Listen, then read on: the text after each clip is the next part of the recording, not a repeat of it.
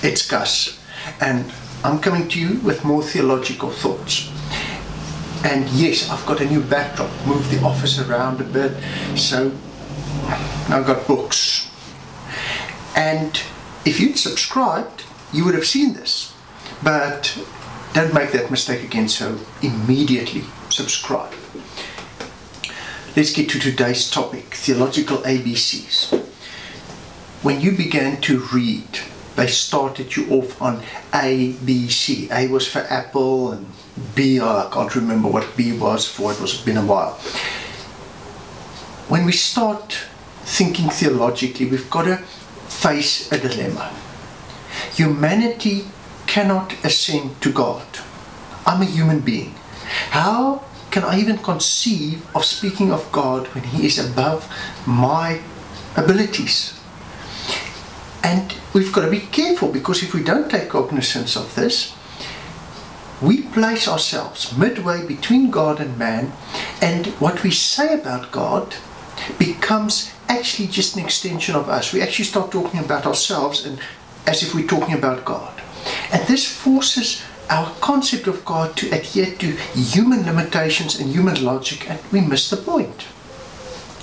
Now, the only alternative is that God comes and He reveals divine truth to us. Now, great, but even if God did that, how could we hope to understand it?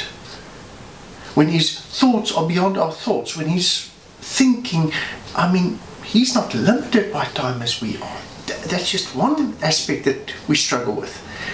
And many well meaning Christians have made this mistake where they claim to speak of God and from the Word of God, but they're actually disguising human thinking as the Word of God.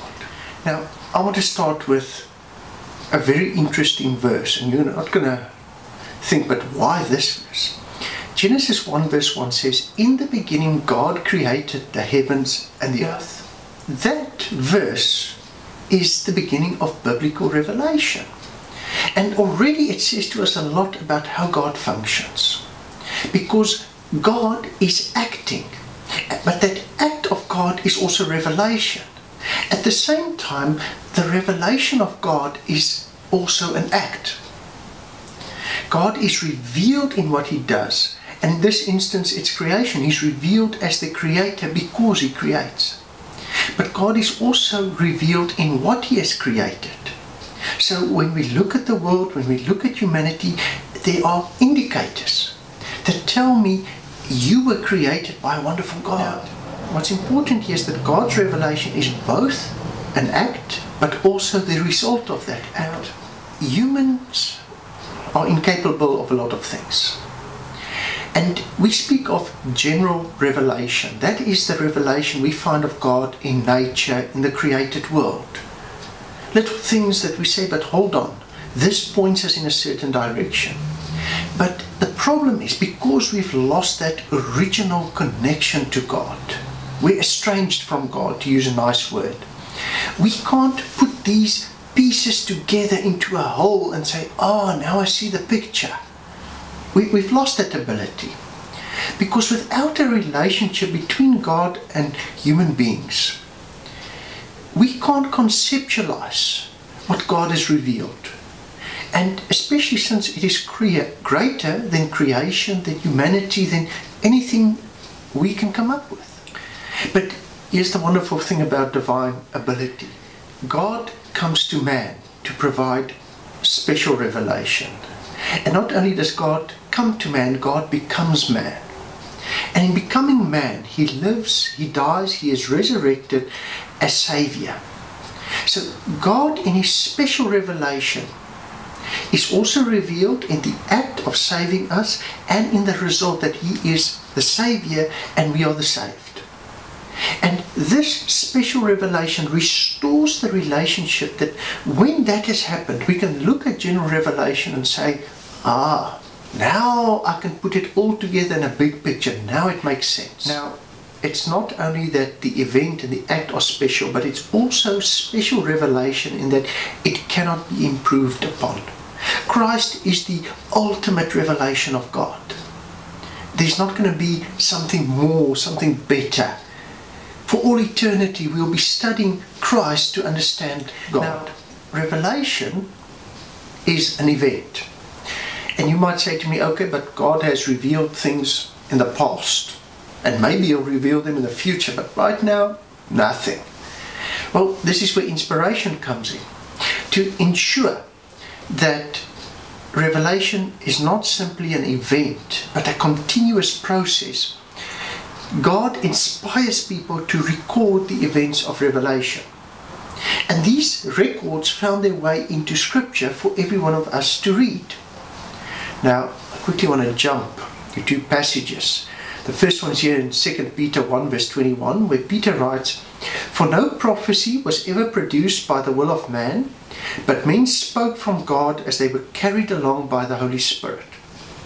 And the second one is 2 Timothy 3 verse 16 where Paul writes, All scripture is breathed out by God and profitable for teaching, for reproof, for correction, and for training in righteousness. Now, when God created Adam, the first man, the Bible tells us that he formed Adam from the dust of the earth, so there's earthly material, and then God breathed into his nostrils the breath of life.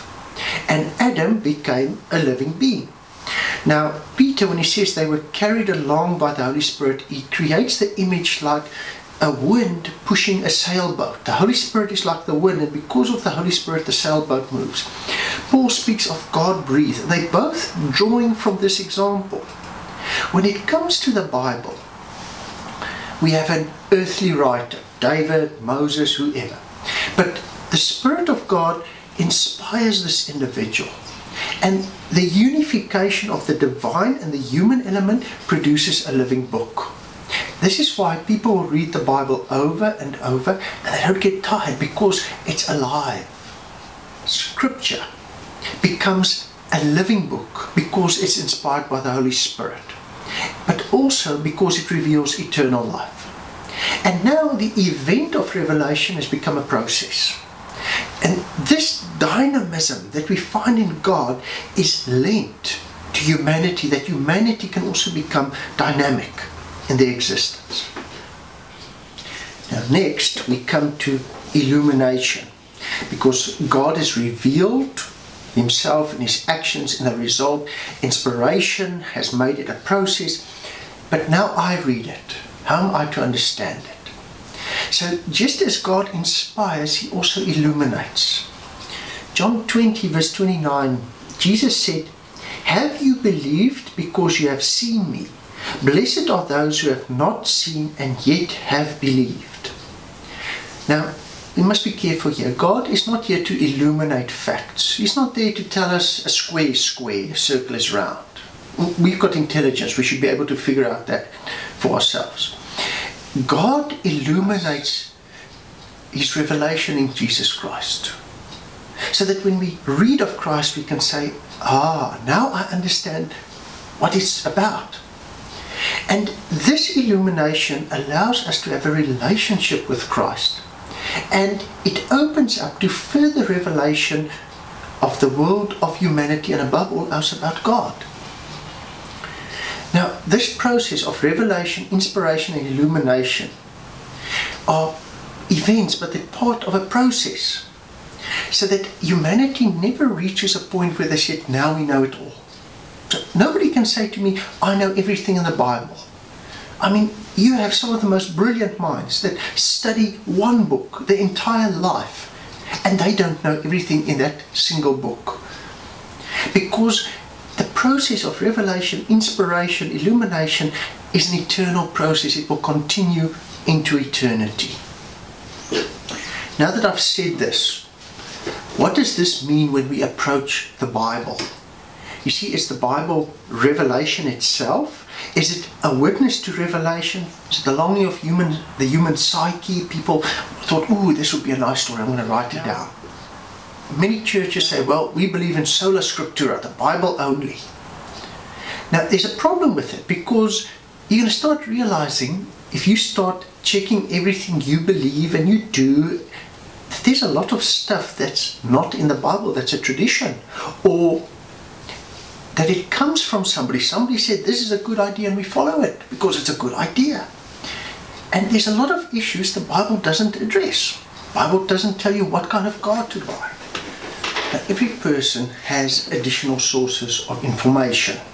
There is history, there is tradition, there's individuals who they consider to be authoritative. Now, when Protestantism began, there was they found confusion.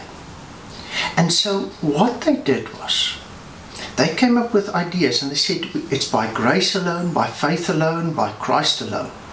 And the question arises now, what do you base this on? On the Bible alone. So the Bible became the sole authority to determine what was the revelation about Christ, about faith, about grace. The Bible was specifically used to explain what must I do to get to heaven. So authority on salvation, on Christ, grace, faith. There are traditions about it. Your granny said something to you that sounded pretty and you still follow it. There are people that talk about it. But scripture is the only canon in this matter. So when we talk about the Bible and what it says about salvation, the Bible is the only authority that by which all else is measured. Whatever tradition or people say comes second. It is not equal to that. Is scripture just a witness to revelation? No, since inspiration makes the truth of revelation my truth. So revelation, as I said earlier, it moves beyond an event to a process. So the event of revelation has a witness. The Holy Spirit works in on this witness and it is found in scripture.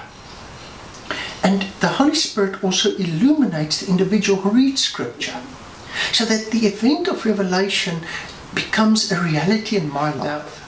I love this because people have this idea God told me. You know, I'm Napoleon. Who told you? God did it. God did. Right? Now, yes, I actually slipped up there. God didn't tell you you're Napoleon. You see, your study of scripture is not canonical. It's not fully authoritative. It is your interpretation of biblical facts. And illumination may be perfect, but I'm not. And this is why in the study process of scripture, there's a dynamic between I study and we study. So as an individual, I study the Bible and I take it to a group of people to evaluate. Say, yes, we agree or you've missed a few things. And here's an, another point in this. Scripture revelation was never intended for an individual. In the theological world, we'll tell you there's nothing new. You cannot come up with something that somebody hasn't thought of somewhere in the past. And they probably weren't the first to think of it, they got it from somebody else. Revelation was intended for the people of God, it goes to the group. So when God reveals something to one person, He affirms that revelation by revealing it to another and another. Whenever I have an idea and I come across a theologian or somebody else who had this idea before me, it's usually a good indication that it's a it's at least not nonsense. It's a good idea because somebody else also thought in this lines. And scripture does not give one person revelation in isolation. So nobody sits there and like, ooh, I've suddenly discovered new truth and I'm all this I'm this clever guy. That totally contradicts what scripture is about. Scripture is there to build my relationship with Christ because I want to get to heaven.